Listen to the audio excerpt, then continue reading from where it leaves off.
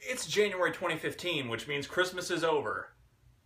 But clearly somebody didn't get the memo, kitty. Christmas is over.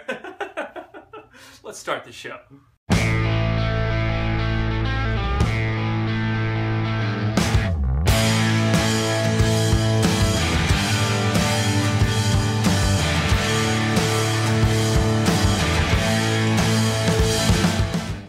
Teaser trailer for the upcoming Ant-Man film was released last week.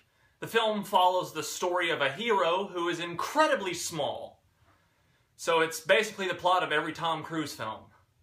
Former Arkansas Governor Mike Huckabee announced he will end his Fox News show to consider a run for president in 2016.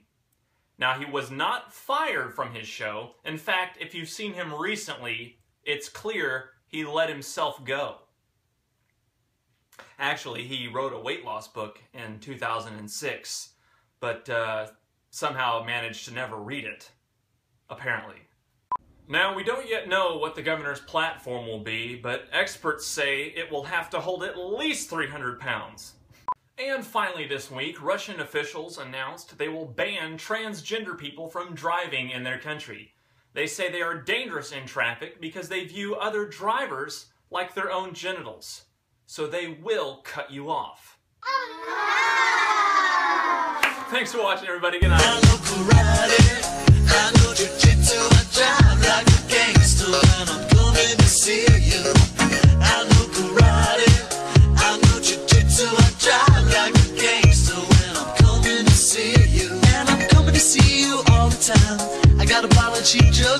Yes, Christmas reminds me a lot of my ex-girlfriend. They uh, both only come once a year.